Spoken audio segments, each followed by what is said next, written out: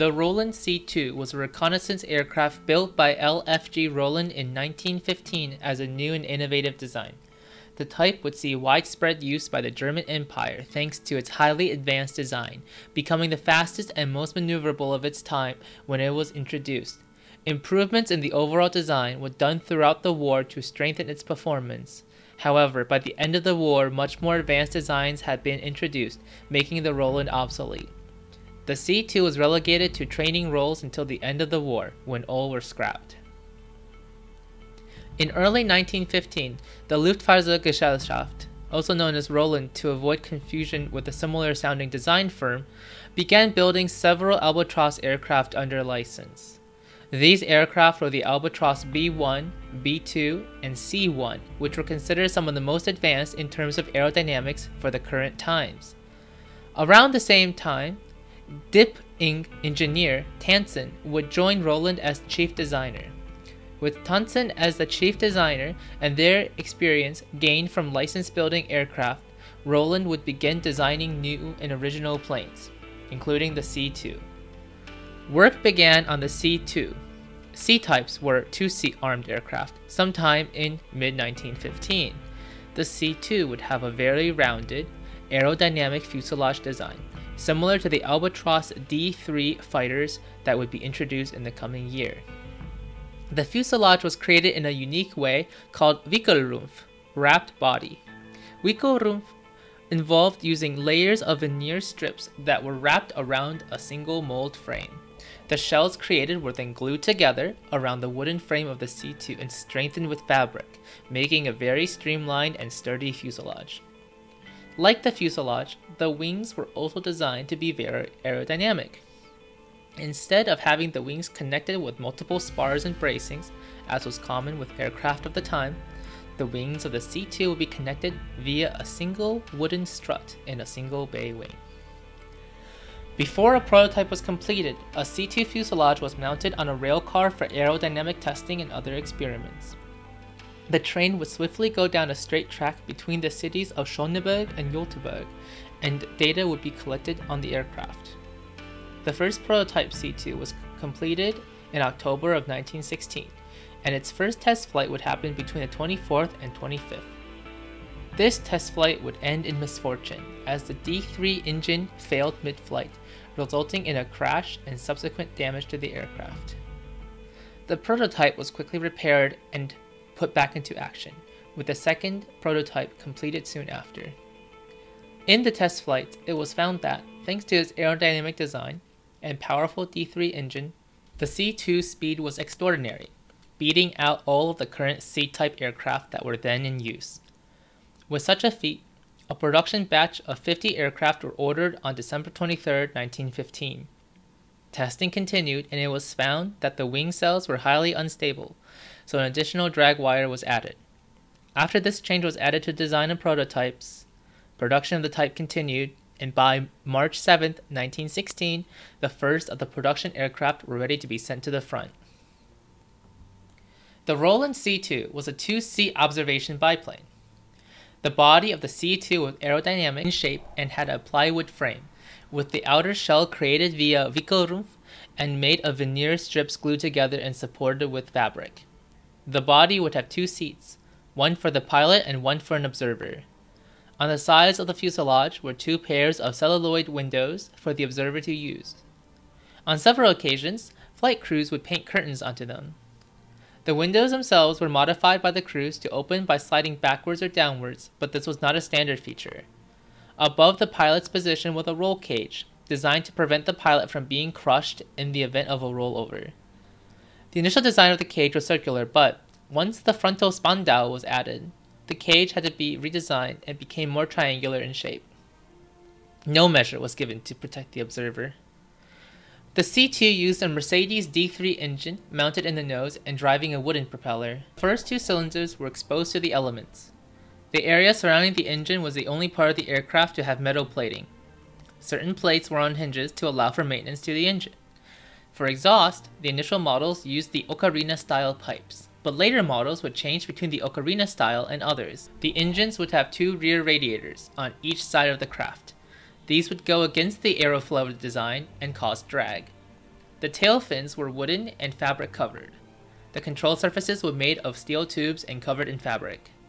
The tail fin was enlarged after the June 1916 batch to increase stability.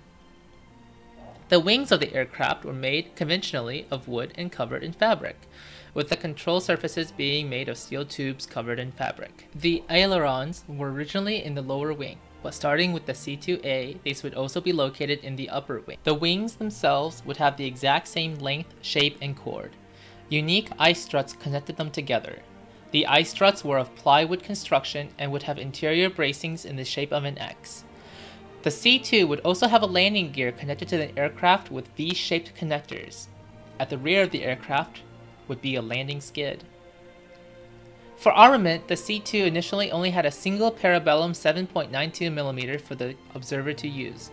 After the first 50 aircraft, a frontal synchronized Spandau 7.92mm was also added for the pilot. If needed, four bomb racks could be fixed to the underside of the wings to carry small bombs. The aircraft also carried several flares.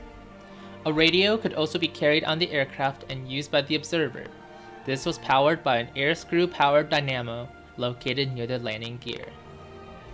The Walfisch in action. The Roland C-2 arrived on the front line in late March of 1916. The C-2s were the fastest aircraft used by the Luftstreitkräfte, German Air Force, at their introduction, outpacing all of their operational aircraft and almost all opposing Allied aircraft, only being superseded by a handful of Allied fighters. Because of this impressive speed, the Roland C-2 was flown in special groups, as other two-seater C-type aircraft simply could not keep up with the type. The Roland C-2 was initially used as a reconnaissance airplane, with the second crewman acting as an observer, but its speed allowed it to be used on escort duties as well. Despite its good speed, however, the C-2 was not without its flaws. In the observer role, thanks to the crewman being seated above the body, visibility above the plane was superb. However, visibility in front of the aircraft was lacking, and visibility beneath the aircraft was terrible. An attempt to fix this early on, before production began, was having cutouts in the base of the wings, but this did not mend the problem. This flaw became fatal later on. Once enemy pilots learned of this massive weak spot, as they would now dive beneath a C-2, then fly upwards towards it, firing their guns while the Roland crew had no means of protecting themselves from that angle. This visibility issue also made landings especially dangerous, as the pilot had difficulty calculating how close the ground was. Aircraft at this time were well known to have difficulty landing, but the C-2 suffered worse in this regard than its peers, due to this visibility issue. In addition, the first 50 of these aircraft had a small armament of only the Parabellum machine gun for the observer. Many pilots found this lacking. One pilot in particular, Lieutenant Otto Chernak of Schuster, H-28, would fix this issue on his own. He would rig a forward-firing apparatus from another Parabellum machine gun that would allow the pilot to fire. Due to the propeller and machine gun not being synchronized, the rig placed the gun well above the rotating radius of the propeller, making the rig very tall. Chernak's own plane was modified in other ways as well, having a unique input system for his observer that would allow the second crewman to tell Chernak to move in certain ways. No other C-2 would have this system. After the first 50 aircraft, all C-2s would have a synchronized Spandau machine gun for the pilot. This gave the C-2 some dogfighting ability, which is how it would end up being used for escort duties along with its excellent speed. At some point, either during its career or while it was still being developed, the C-2 was given the unofficial nickname of Walfisch, whale. The origin of this name has been told many times, but there is no concise point that has been confirmed. The most common of these origins is said to have come from while it was still in development, from a German official observing the type. Another possibility is that its overall round shape and how the early models were painted a silver white color gave it the name. Nonetheless, the name stuck. The name did not seem to have any negative connotations for its pilots, as many of them would paint fish or shark faces on their aircraft. The aforementioned Otto Chernak would paint a fish face onto his aircraft. This tradition was seen throughout its lifespan, even once the two-toned later camouflage models were introduced with green and brown paint. After the initial batch, a production of 24 aircraft with a modified machine gun was ordered in March of 1916. Another batch of 45 aircraft were ordered in April. However, the batch of Roland C-2s after this set would aim to fix many of the stability issues found with the aircraft in the field. The tail fin was enlarged to improve flight performance. The wings were shortened and the eye struts were moved inward to compensate for the wing changing. These made the wings much more structurally sound. This reworked design of the C2 was known as the C2A, and testing of this design began in April-May 1916. The type will be sent to the front line by the summer. All C2 aircraft after this point would be of the C2A model. A batch of 19 C2As were ordered in April of 1916, and another batch of C2As were also ordered but with the ailerons in the upper wing. All aircraft after this would have the ailerons this way. A batch of 40 C2As were additionally ordered in June of 1916 with a larger vertical fin to improve stability. Most of the production's Roland C2s were flying by the summer of 1916. The C2 was used extensively at the Battle of the Somme where it was used in large numbers for recon and escort duties. On the second day of the Battle of the Somme, June 2nd, the soon to be famous Albert Ball would go on a sortie in a Nieuport scout aircraft. While flying, his squadron would encounter six Roland C 2s on patrol. The Allied squadron would begin their attack while the Roland formation would scatter. Ball was able to catch up to one and shoot it down, causing the C 2 to plummet near the Mercatel Arras road. This would be the first aircraft Ball would completely destroy in flight. Ball himself went on to compliment the C-2, stating it was the best aircraft the Germans had at the time, with a good defense to complement its speed. The C-2 was used continually through the rest of 1916. In summer of 1916, the Linke Hofmann Company would begin license building C-2s. An initial batch of 16 aircraft were ordered. The aircraft built under license were known as the C-2A Li. In July of 1916, a batch of 40 aircraft were ordered to be produced by Linke Hofmann. This will be the last batch of C-2s built, and they will be sent to the front in the beginning of 1917. By this time, however, the C-2 had lost its edge. The Allies fielded newer and improved aircraft that were easily able to keep up with the C-2, and the Germans themselves had also produced newer aircraft that performed better. The C-2 was instead returned from the front lines and used as a trainer for the C-type in flight schools. The fate of the remaining C-2s is unknown, but they are most likely scrapped. No aircraft survived to this day. In mid-1916, a derivative of the C-2 emerged, the Roland C-3. The C-3 shared many of the same design features as the C-2, such as a two-seat aerodynamic body with two windows on each side for observation purposes, However, most of the similarities stop there. The C3 was designed to use the more powerful 200 horsepower Mercedes D4 engine over the C2's D3.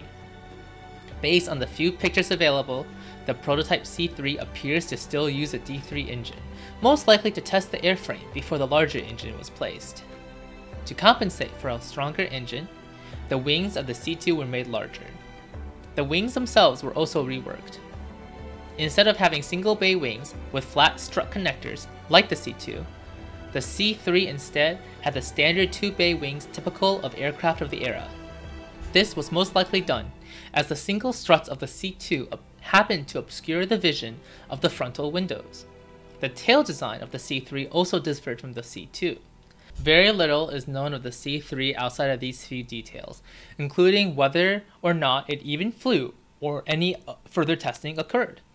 The single C3 prototype was lost when LFG's facility in Adlershof was destroyed in a fire on September 6, 1916. This incident is cited to be caused by sabotage from British Special Forces. After the loss of the prototype, no further work on this type was done. The time of its introduction, the C-3 was one of the most advanced aircraft Germany had. Its powerful engine and aerodynamic construction allowed it to outperform most of its opposition. As the war continued, more advanced machines eventually outpaced the Roland C2. The aircraft did manage to influence other companies attempting more aerodynamic designs.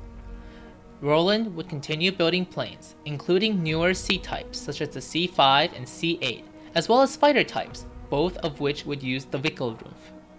Two other aircraft were built off of the C2's design, the D-1 fighter and the WD floatplane.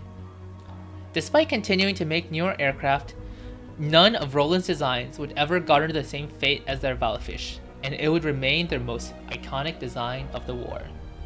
And that's it for this video. If you liked it, please leave a like and subscription. You can find more information relating to this vehicle in the full article which is linked in the description. Until next time, keep us in your sights.